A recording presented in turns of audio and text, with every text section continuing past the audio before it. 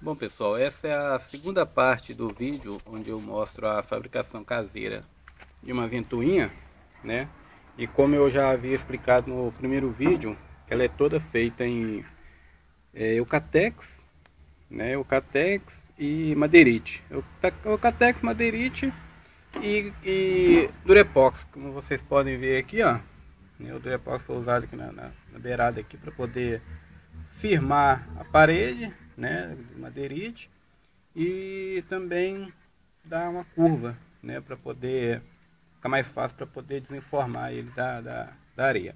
E dessa vez eu usei um outro artifício aqui também, que é usar o próprio pó do, do Eucatex para poder preencher alguns espaços, buracos, rachaduras, né, ter feito algumas imperfeições, né, então eu usei o próprio pó do Eucatex com cola, né, que ó, você pode ver aqui, ó. Né? Aqui também eu usei, tinha um, havia um, um buraco, né? Então eu, eu coloquei um pedacinho de madeira, né? E preenchi os espaços com o pó que eu falei, né? Feito de pó de, de, de Eucatex com cola, né? Aí mais detalhado. Aqui a beirada aí é, é aqui é Durepox, né? Porque na hora de desenformar da areia, é, essas curvas é, um, faz uma boa diferença. Né? Fica mais fácil para desenformar. Então aqui é isso. É, outro vídeo que eu tinha mostrado, eu não tinha feito ainda essas, essas paredes, né? Então agora já tem bem o formato mesmo de como ela vai ser. Né? Aqui na saída eu optei por fazer ela em tubo, né? A saída circular em tubo né? Como vocês podem ver, ainda não está muito bem acabado, porque ainda não, não dei né, um bom acabamento ainda final, né? Porque estou fazendo devagar. E então aqui, ó, vocês podem ter noção, né, de como vai ser a, a saída, né? Então ela para vocês entenderem melhor, como eu havia explicado no outro vídeo, aqui ela formou aqui uma espiral, né, uma espiral aqui, a espiral que eu falei, tá aqui, ó, né, então de acordo que vai aumentando a espiral, né, ela vai aumentando a saída, né, então ela vai girando, é, é, criando uma força centrífuga, eu vou colocar o rotor aqui para vocês terem uma noção, aqui, ó. O rotor vai girar, né, ó. Vai girar, ele vai criar uma força centrífuga, vai criar uma pressão aqui dentro, vai jogar o ar, vai expulsar o ar por aqui, ó, né? Então aqui, essa é uma das partes, porque vai serão duas partes, né? Essa é uma delas. Essa é a parte que eu deixei, eu optei por deixar ela um pouco mais, mais alta, né, ó. As paredes um pouco mais alta, porque a outra parte vai ser um pouco menor, né.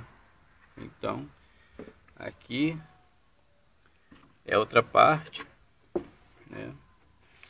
Aqui é, faltava um pedaço no, no Catex, eu emendei e fiz o sistema que eu falei, né, com preenchimento aqui, ó, de cola e o pó do próprio Catex, poder preencher e dar uma, uma certa resistência na peça, né? Então é basicamente isso aqui, ó. É o pó, né, ó, pózinho encerrado, né, do, do, do Catex.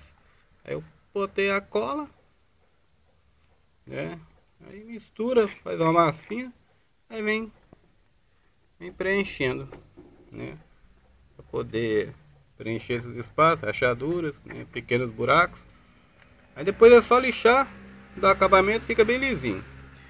Então aqui essa aqui, como na primeira par, na primeira peça, eu coloquei ela dois Eucatex, né, colado, tem dois, para poder dar uma espessura suficiente para o alumínio poder preencher o molde, né, para o percorrer no molde, porque se ficar muito fino, o alumínio não preenche o molde, né? Ele não, não percorre todo, todo o espaço vazio que, que a peça deixou naquele molde. Então aqui, ó,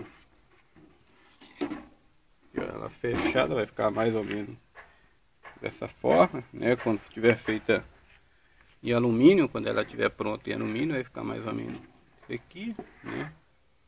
Aí aqui essa parte eu ainda vou botar uma parede um pouco mais baixa, né? Cerca de 2 centímetros, um e meio de altura, né?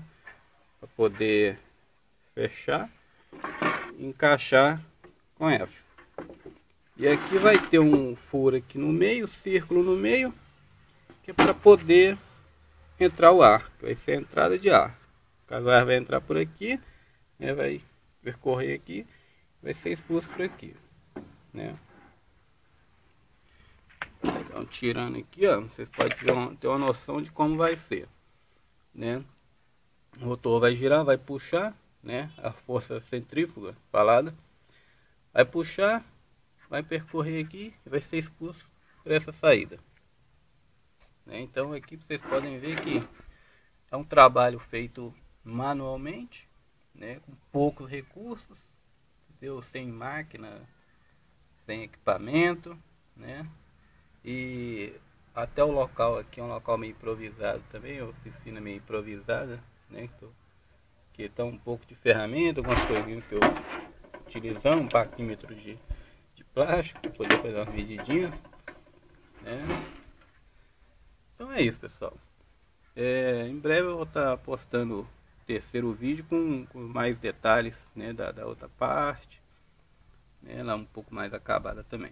Então por enquanto é só. Muito obrigado.